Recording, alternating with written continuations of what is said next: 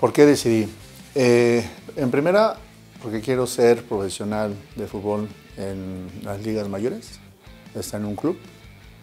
Y en segunda, eh, preparar a niños y guiarlos con lo que más les gusta, el fútbol.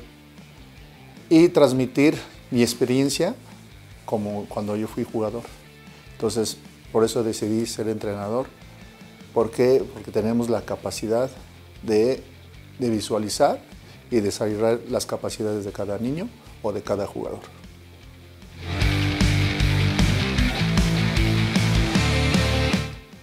Tengo 14 años entrenando niños desde el 2000, 2012. ¿sí?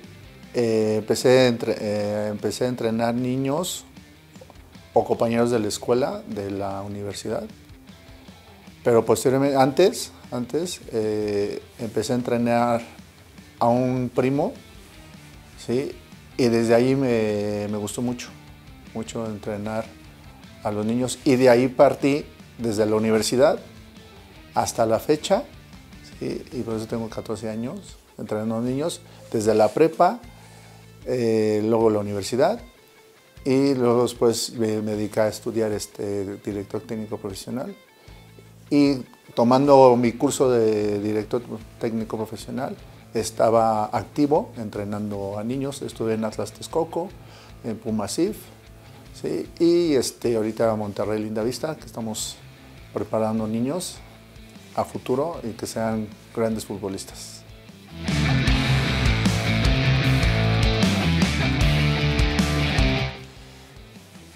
Depende de las edades.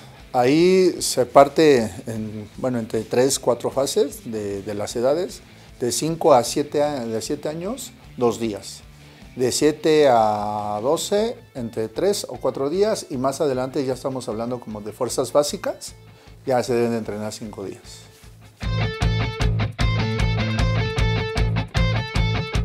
¿Cómo los animo? Eh, se termina el primer tiempo y ahí es donde eh, los, dejo respirar un minuto y de ahí parto con mi, con mi auxiliar y qué tenemos que, que, que, que buscar sobre, para, para, animar al niño. ¿Cómo juega el rival? ¿Sí? Les preguntamos a ellos cómo, juega, cómo está jugando el rival y de ahí este, tomamos nuestra, nuestra respuesta y ahí es donde entramos eh, eh, técnicamente para motivarlo. Tú tienes que hacer esto, tú tranquilo, tú tienes que desarrollar lo que has entrenado durante la semana. ¿sí? Entonces, ¿qué tienes que hacer? Les damos tareas. Les, damos tareas en ese momento para que en el segundo tiempo se animen y se motiven para fortalecer sus capacidades ¿sí? durante el trabajo de, de la semana. Y ahí el niño cambia de actitud. Y de verdad cambia bastante la actitud. ¿Por qué? Porque no, no, no estamos, nosotros no estamos para reventar o estar regañando al niño. Al contrario, tenemos que motivarlo y que se divierta. Lo más, lo más primordial es que se divierta el niño jugando al fútbol.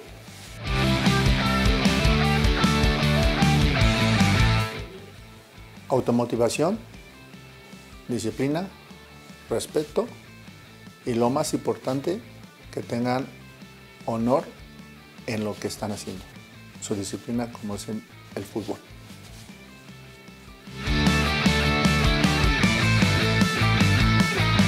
¿Qué consejos?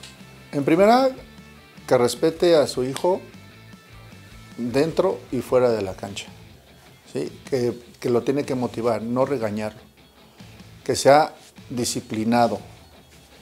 Y lo más importante del consejo del papá, que deje divertir a su niño en cualquier tipo de disciplina. El, el, papá debe estar calladito, por eso estamos nosotros los especialistas, para que sus hijos desarrollen su deporte favorito.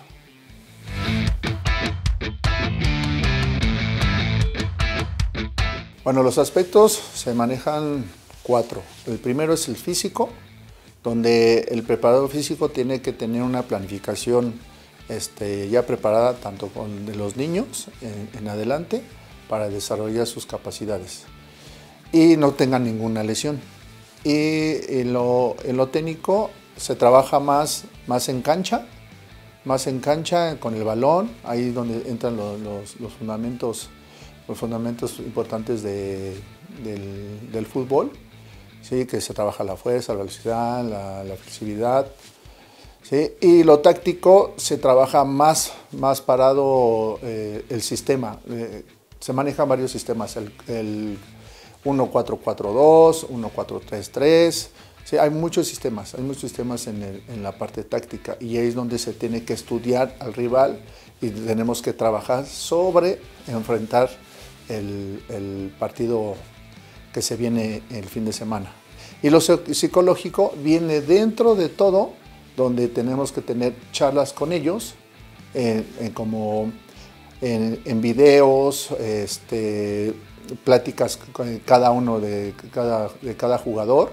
¿Para qué? Para que ellos se desarrollen día a día para, para tener un buen, un, buen, un buen desarrollo psicológico.